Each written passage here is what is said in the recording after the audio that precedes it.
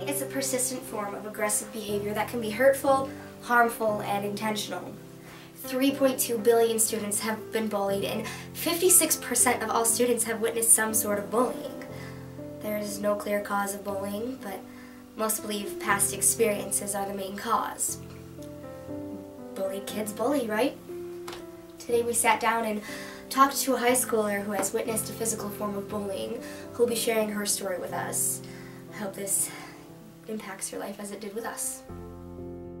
Hi, my name is Elaina and I want to share a personal experience of someone being bullied.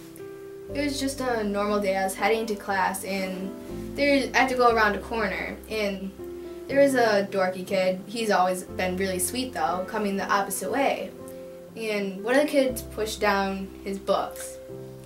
And my friends were laughing and I was just standing there. I did, had no reaction to what just happened.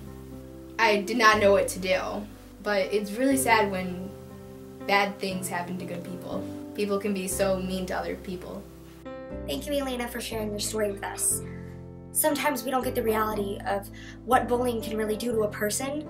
There is um, many side effects of being bullied or being the bully. Um, if you have any questions, comments, concerns, uh, stopbullying.gov is a great site that you can go online to. Um, check it out, look into it, and um, I encourage you to. Um, anyway, until we see each other again, I'm Samantha, and this has been an episode on bullying.